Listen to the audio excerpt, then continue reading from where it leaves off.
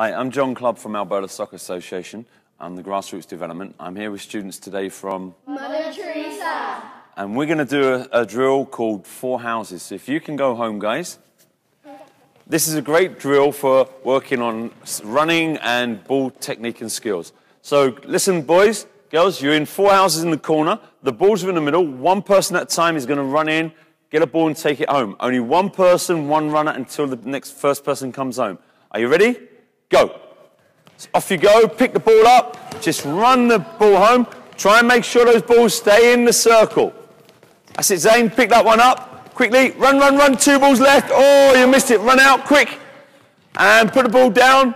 Good, so three balls each on these two teams. You got them quickest, so you're the winning team. Now, watch it. What we're going to do now, the next progression is you've got to bring those balls back but you must dribble them, okay? So I want to see nice dribbling, and the ball must be stopped in the middle. Are you ready? One person at a time. Go.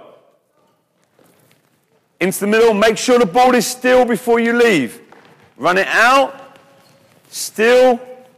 And then out. Good. Yeah. Keep coming. Inside. And that's it. Keep it in there and rest. So, who was the first team back this time? It should have been one of the teams with two balls, okay?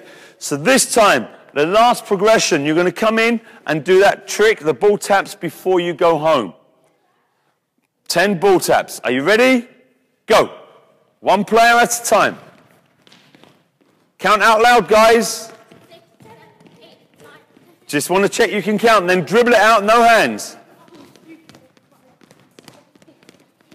Whoa, no hands. Dribble it out. Two balls left. Count those loud.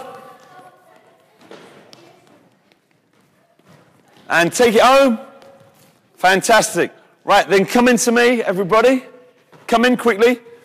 So Four House is a, is a great fun game. It brings in the competitive element. Um, in terms of the skills and techniques, you can add in any techniques you want. You can make the players uh, juggle the ball.